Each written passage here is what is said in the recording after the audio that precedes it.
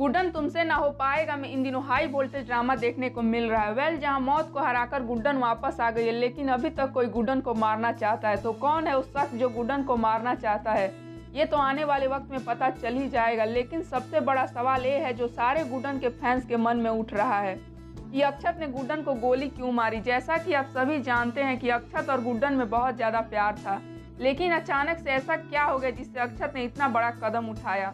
अब अक्षत के इस कदम से फैंस काफ़ी शॉक्ड है और सोशल मीडिया पे कई तरह के मीम शेयर किए जा रहे हैं। तो वहीं निशांत मलकानी ने अपने इंस्टाग्राम स्टोरी पर एक मीम शेयर करते हुए बताया कि, कब आपको पता चलेगा कि आखिर अक्षत ने गुड्डन को गोली क्यों मारी? जहाँ कुछ साल पहले एक मूवी आई थी जिसको देखने के बाद लोगों के मन में एक सवाल था कि कटप्पा ने बाहुबली को क्यों मारा?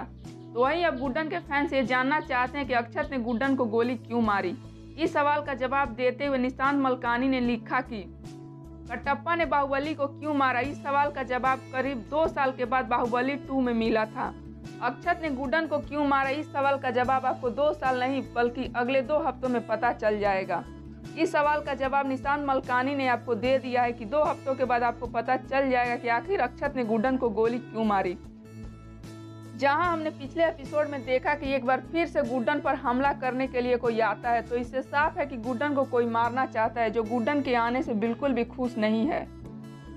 ये शख्स कौन है? ये शख्स कोई घर वाला है कि कोई बाहर वाला? आपको क्या लगता है? हमें कमेंट बॉक्स में ज़रूर बताइएगा और वीडियो पसंद आए तो इसे लाइक करें, शेयर करें चैनल को सब्सक्राइब करना बिल्कुल मत भूलें।